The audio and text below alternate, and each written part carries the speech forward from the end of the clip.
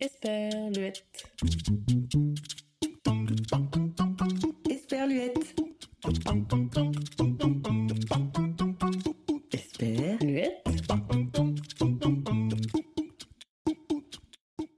Auditrices et auditeurs, à période singulière, épisode particulier avec toujours cette même envie, partager uniquement du positif et vous permettre, avec différents formats, de reposer vos yeux en offrant à vos oreilles un bon moment.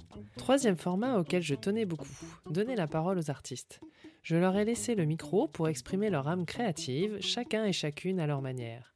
Aujourd'hui, Manuel Anoto vous offre sa dernière chanson. Bonne écoute!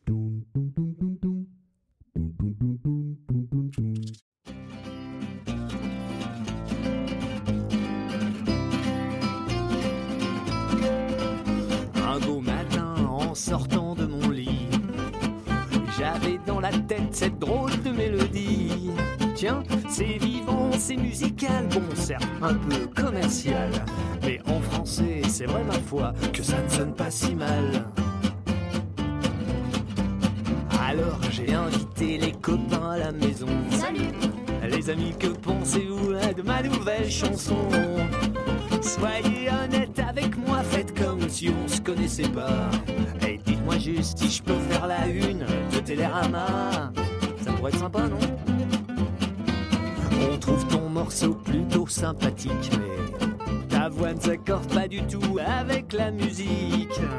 Un peu comme si Bob Dylan reprenait du Jean-Jacques Goldman, ou si Renaud a chanté un standard de John Coltrane.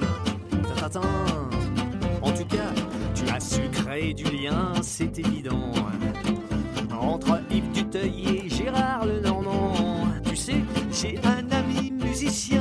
Chez Patrick Sébastien et qui connaît tout le gratin du showbiz parisien.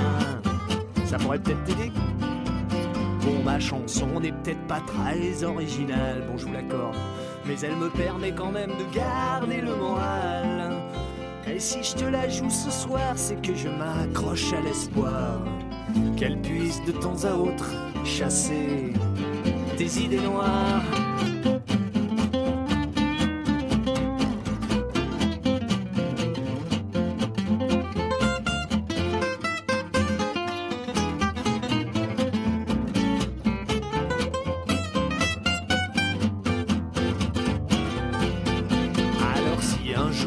Jour vous fredonnez vous aussi inconsciemment les notes de cette mélodie, ça veut dire qu'à des lieux à la ronde on passe ma chanson sur les ondes. J'espère alors qu'avec cet air-là, je ferai le tour du monde, que cet air-là m'emmènera jusqu'au bout